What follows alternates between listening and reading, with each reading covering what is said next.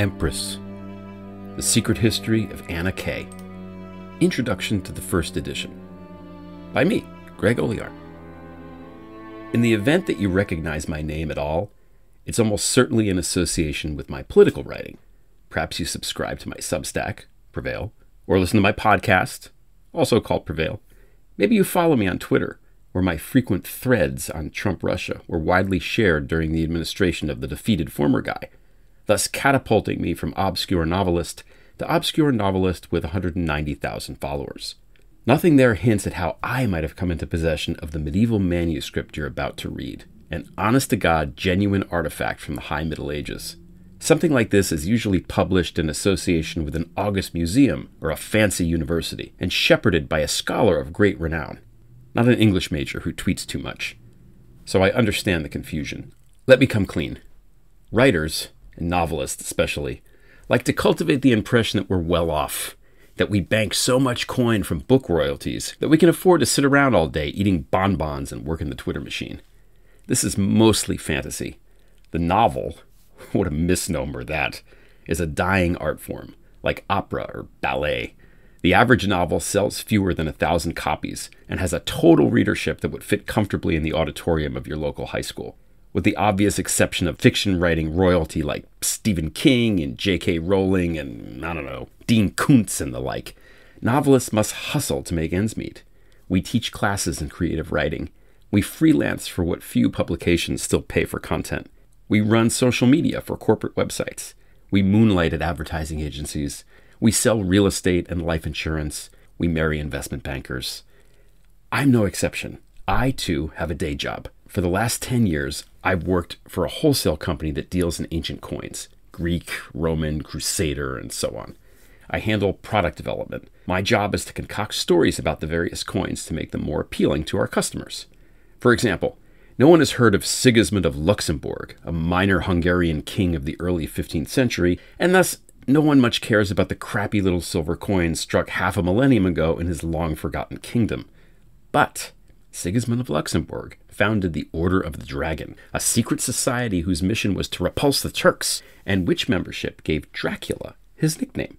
Draculea is Romanian for little dragon.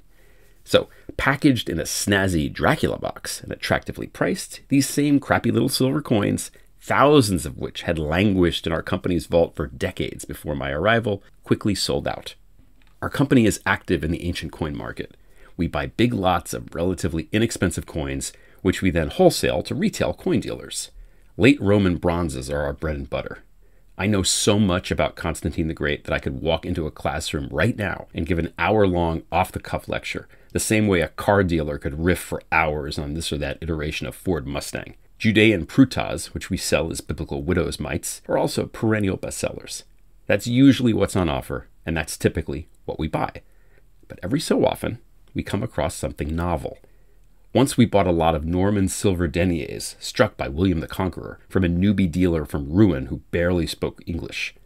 My boss negotiated the deal in his rudimentary schoolboy French, and the agreement was literally drawn up on a napkin. That lot sold at a tidy profit a few weeks later.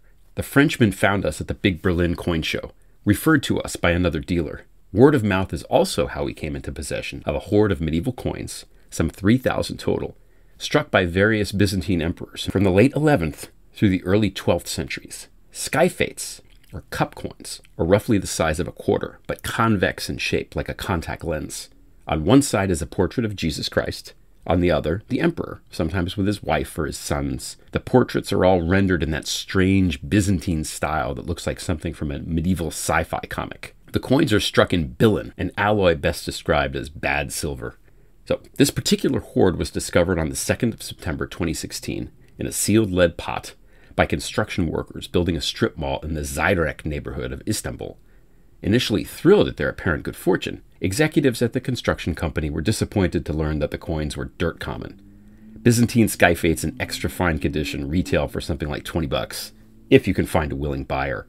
The buried treasure wasn't much of a treasure, not to a big corporation anyway. After clearing it with the Erdogan government, the executives unloaded the lot to a Bulgarian coin dealer, a slight man with a horror movie aspect owing to his hare lip and his vampiric accent, who in turn sold it to my boss, lock, stock, and proverbial barrel, for 12,000 euro.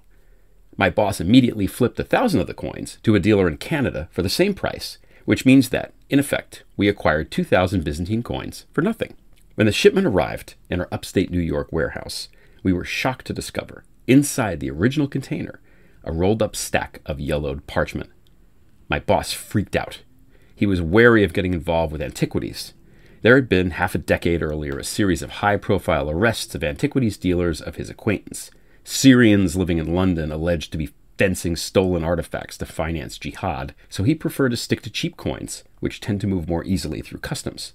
When I offered to take the thing off his hands for a $1,000, and, more importantly, to handle whatever paperwork was necessary to make it good with the Office of Foreign Assets Control, he happily agreed. I reached out to an old college friend, Marina Gavaris, a tenured professor of medieval studies at Georgetown, our alma mater. She's one of those freakishly brilliant people who speaks seven languages, including medieval Greek. She agreed to translate the pages, and also, critically, arrange for Dumbarton Oaks, a prominent Byzantine research library within walking distance of her office, to both finance the project and clear it with the OFAC. As part of the deal, Dumbarton Oaks would retain the physical codex when she finished with the translation, which was fine by me. For my troubles, I would get the publishing rights, although when I drove down to Washington to hand deliver the thing, I had no idea what those publishing rights might involve. Marina warned me that the codex was likely nothing an inventory of goods, a household budget, liturgical documents, something prosaic like that. When she began to read the faded Greek minuscule letters, however, her eyes widened so much, I was afraid they might pop out of her head entirely. Holy shit! exclaimed the learned Byzantine scholar. Holy fucking shit! The Codex was neither inventory of goods, nor household budget, nor a liturgical document, but rather a lost manuscript by the Byzantine princess Anna Komnene. Anna, the firstborn daughter of the Emperor Alexios Komnenos, is the author of the Alexiad, an exhaustive history of her father's long and eventful reign. Both princess and book are largely forgotten now, familiar only to Byzantinists, like my friend Marina, but her chronicle remains one of the finest extant primary sources on the First Crusade. The newly discovered codex, known as the Anecdota, or Secret History, is a shockingly modern companion piece to the Alexiad. The pages that follow comprise the first English language edition of what Marina insists is one of the great literary works of the High Middle Ages. A random twist of fate led me, a novelist, to be the publisher of this remarkable work. Appropriately so, unlike the Alexiad, which is part history, part hagiography, and frankly a bit on the dull side, the secret history reads like a novel. Perhaps that art form isn't dead after all? Here is a book, painstakingly compiled and stashed away before anyone could ever lay eyes on it, nine centuries ago, read for the first time by a medieval scholar, a woman, which seems significant, at a university on a continent that Anna Komnene herself did not know existed, almost a full millennium later. And those faded scribbles of ink on decaying parchment, the very words and incantation, somehow have the power to restore, to reanimate a world long since vanished. Is that mere art? Is it not closer to magic? And now, the secret history of Anna Komnene. Preface The stream of time will wash away the dark stain of our delible memory, sure as the rushing river smooths the stone on its bank. No man mortal or otherwise is impervious to these relentless waters. Even the gods are forgotten. This, the astute reader will recall, was my stated motivation for writing the Alexiad to give account of the deeds of my esteemed father, the great Emperor Alexios Komnenos. It is with some irony, then, that my own memories are refusing to wash away, or at any rate are not washing away fast enough. Time takes its time. Ancient as I am at sixty-nine, withered and broken in my modest rooms at Kecharitomene, I find that not an hour passes without my mind turning to the events chronicled in that book of mine, and not for the reasons one might suppose. The historian, as I wrote therein, must shirk neither remonstrance with his friends nor praise of his enemies. He is in the service only of truth. And this, more than anything, is what gnaws at me now. While I did not bear false witness, nor did I tell the full story. Much was left unsaid or unremarked upon, much ignored, in order not to bestow credit upon some heroic character other than my father. The women especially I have marginalized. My irrepressible grandmother and namesake Anna Dalassene, the formidable Empress Eudokia Makrembolitissa, and most of all the lovely Maria of Alania, who was so forthcoming in relating to me the momentous events of her incredible life. These egregious omissions fill me with shame. Of all people, I should have known not to downplay the female contributions to our proud history. It is Candlemas Day, Anno Domini 1153. John Second Komnenos, my hapless half-brother and my father's unworthy successor, is sixteen years dead. His flouncing son Manuel now occupies the throne, my throne, or rather the throne that would have been mine were I not of the weaker sex, the throne that should have been mine regardless. I, Anna Komnene, lost queen of the Byzantines, Men cannot know the anguish of being ruled ineligible on anatomical grounds beyond one's control. Slaves can perhaps understand, eunuchs too, and perhaps even those doomed nobles like the deposed Emperor Romanos Diogenes, whose eyes have been put out. But not men. How apposite is the scripture Adam content in his slothful ignorance, lazy ruler of all he surveys, Eve ripe with fecund curiosity and grand ambition, Eve punished for the selfsame wilful attributes gifted her by her Creator. The cruel vicissitudes of fate, of which the Tragedians sang so plangently, my tale is worthy of Aeschylus or Sophocles. I will not lie, it is a struggle to avoid bitterness.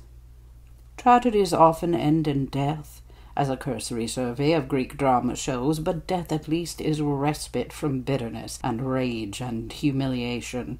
Real tragedy is confinement to a convent, house arrest in this forgotten place, exiled to irrelevancy. The blind Oedipus, or Diogenes, wandering the earth. Impotence, celibacy, boredom, intellectual stagnation, rot. The machine of government grinds on without me entombed as I am in this mausoleum by another name. My nephew, traipsing round the Grand Palace in those ridiculous pantaloons, entertains infidels, but will not grant his aunt an audience. My own children scorn me. My friends, there were never, let us be true, very many, have all passed on. I have managed the best I could. When my husband died a dozen and a half years ago, he left behind fragments of a manuscript, a history he'd intended to continue to the present day, or at least through the reign of Alexios that ended in Anno Domini 1118. I picked up where he left off, although his scholarship was too shoddy to be of much use. By completing Nikephoros Bryennios the Younger's history of Alexios Komnenos, I could honor both my husband and my father. This was the well-intended advice the Mother Abbess put before me. Serve the memory of the two distinguished men who were your masters, she said. And so I did, to a degree that even my kindly Mother Abbess scarce could have imagined. The Alexiad not only far exceeds the immature scribblings of my husband, but ranks, dare I say, with the works of Herodotus and Xenophon. Certainly the blundering Psellus is not my match, as he could never resist the temptation as I have, although I have more reason to include myself than that old fraud, to insert himself so prominently in every relevant scene. So long as the Alexiad exists, Alexios Komnenos and Nikephoros Bryennios the Younger will never be forgotten. No daughter or wife has ever given greater glory to father and husband. Selflessly have I acted in composing my history, but history is not well served by selflessness. Mea culpa, I have presented a flawed account. Oh, history, I have betrayed thee, just as I was myself betrayed by my father, by my husband, by my very anatomy. The reward of suffering is experience, the playwright wrote. But he has it wrong. It's the other way around. The reward of experience is suffering. The guilt of my literary deceit weighs heavily on me. I lie awake at night. Beneath the habit, what little hair that remains falls out in clumps. If the truth is ever to be told, I am the only one left to tell it, and tell it I must. I must atone for the sin of redaction, a sin for which neither presbyter nor patriarch can offer true absolution. Let these pages be my penance, O God. The Astrologer. At half past ten in the morning, on the first day of the twelfth month of the year of our Lord 1083, a eunuch burst out of the porphyra and hurried into the nearby chambers of the court astrologer, an Antiochene by birth, who had served the emperors of Rome since the days of Monomachus. The astrologer was at his writing desk, ephemerides at the ready, awaiting the eunuch's arrival. What was the time? Just now, Sirrah. The astrologer nodded, ran his silt brown fingers through his thick white beard, and turned to his books that year's Ephemeris first, then the well worn copy of Claudius Ptolemy's Tetrabiblos. As he made his notations, a crooked smile broke across his grizzled brown face. After ten minutes of furious computation, he put down his pen and exclaimed, But God is good! to no one in particular, as the dutiful eunuch had already returned to the Porphyra to attend to the new mother and her baby. The old man rose and practically ran down the hall to the royal apartments, dizzy with excitement. He found the emperor in the map room, anxiously pacing to and fro, wearing holes in the rugs. What news? the Augustus cried. The child is born, the old man said, and your excellency, the stars are a thing of wonder. He went on to analyze the natal chart of the emperor's firstborn and heir to the throne. The position of Mars in the first house, so close to the horizon, your grace, you could not ask for better placement. Mars, the astrologer explained, although the emperor was himself familiar with Ptolemy and did not require remedial instruction, was ruler of war, and thus its position on the ascendant indicated an assertive, self confident aspect well suited to command. This child was a natural born leader, the sort of man others would happily follow into battle, even into certain death. Not unlike yourself, he added, in a tone of well practised obsequity. He had not retained his position for so long without knowing how and when to deploy blandishments. The Emperor nodded, and the old sycophant continued. And Jupiter, also so close to the horizon, Jupiter is the great benefic. This is a lucky child, Your Grace. Lucky indeed. This pleases me, the Emperor said. Thank you, Sirrah. That is all. The astrologer was banished to Proti the very next day, after the Emperor discovered, to his eternal disappointment, given the auspicious astrological reading, that the baby crying in the Porphyra, his firstborn child and presumptive heir, was in fact a girl. The emperor was Alexios Komnenos. The baby girl was me. By the time I was born in the purple, of course, my father was firmly ensconced on the throne, having been Augustus for two full years, any lingering questions about his legitimacy had been answered, with his empire saving military victories over Robert the Fox and the Normans at the beginning of his reign, of which more later. Before Larissa, however, such questions plagued him, for Alexios, let us not forget, was a usurper. That his great uncle Isaac Komnenos had been emperor decades earlier indicated that he was of noble stock but this in itself was not much of a claim. Alexios was not even the oldest of the Komnenoi. His beloved brother, named Isaac, in homage to the former emperor, had held that distinction since the death of their eldest brother Manuel at Manzikert. Why should this upstart, this third son of the brother of a former emperor, wear the purple? Why should Alexios Komnenos, of all people, be the one to supplant the more or less rightful ruler, Botaniates? Divine providence, some would say, and surely God willed his speedy ascension. Others would credit the kingly mix of charisma, piety, cunning, and ambition that formed his personality, and certainly a lesser mortal would not have pulled it off.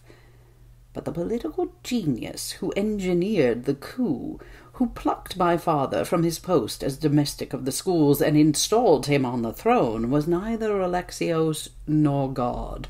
No, there was, as is often the case in the long annals of Rome, a puppet master, or mistress, as it were, just off stage, tugging at the marionette strings. My father never told me the story of the astrologer, you see. It was related to me by the other occupant of the map room on the morning I was born, when the old stargazer made his blunder. For Alexios was not alone on the first of December A.D. 1083. He was never alone in those days. He was always in the company of his lover, the most beautiful woman in the kingdom, if not all of Christendom, who had been the wife of the decrepit Botaniates, and also wife to the emperor before him, Michael the Seventh Ducas.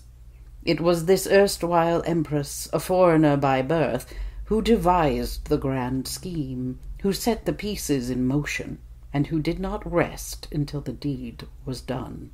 Without Maria of Alania, there is no Alexios.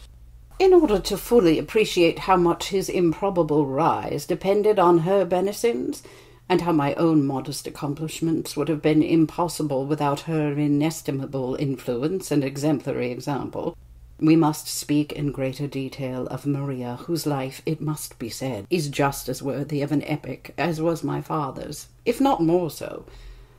She is given short shrift in the Alexiad, and I must use the requisite pages to correct this oversight now. Before we commence that discussion, however, there is one last detail in the story of my birthday that I must relate. It is a purient detail, and I disapprove of purience in all its forms, but I feel that full disclosure is necessary here, as this detail illustrates more than any discursive editorial I might proffer the dynamics of the relationship between my father and his comely lover. You see, Alexios was not pacing when the daft astrologer made his fateful entrance in the map room. That is a fiction I invented for purposes of decorum. No, adding to his humiliation, the old fool caught the emperor and his lover in flagrante delicto. There lay Maria upon the lush divan, her fair legs splayed, her pretty head cocked back, and there was the mighty Augustus on his knees before her, lapping at her fountain like a thirsty mongrel. A gorgeous icon of the Virgin Mary hung on the wall behind the divan, smiling radiantly and chastely upon them. At thirty-two, Maria of Alania was already an old woman by then, five years his senior, twice divorced, with a young son of her own, ruined beyond ruination by any conventional metric, and yet still as alluring as the fairest courtesan half her age. As soon as the door to the map room was shut and they were again alone, my love drunk father, with nary a thought to his wife or his new-born heir, fell prostrate before his lady, and in that base position unbecoming his high office, resumed his obscenity. I did not release him, Maria told me later, one of many secrets she was to reveal, until my desire was satisfied. Maria, maker of emperors, Maria, mother of my betrothed, Maria, who raised me, who loved me as her own. In the convent, all these years later, when I offer prayers to the Mother of God, no matter the radiant countenance of the icon before me, the face of the Virgin Mary in my mind is the face of the Empress Maria. Thanks for listening to this excerpt from Empress The Secret History of Anna K by Greg Olear. The preface and first chapter were read by Alison Weller. The music is called Sad Eyes by Dar Golan. Empress is available on September 18, 2022 on Amazon and at better bookstores everywhere. Thanks for listening.